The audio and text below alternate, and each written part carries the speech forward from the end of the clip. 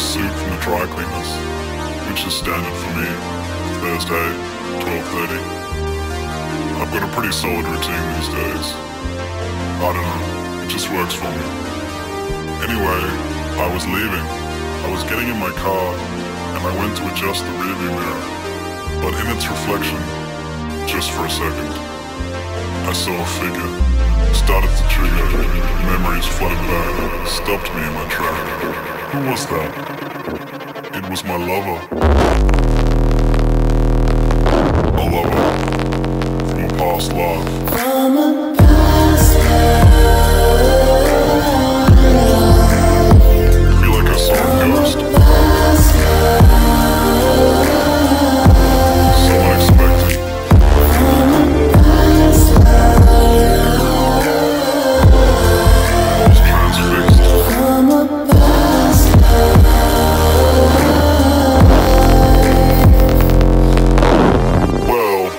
Somewhere between a lover and a friend.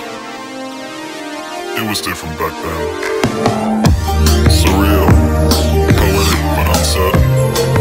Like a bizarre chick flick with a confusing end. But I shut it down, closed it off. The sounds and smells I made myself forget. The cheap solution to blackout regret. But it was real. It just feels like a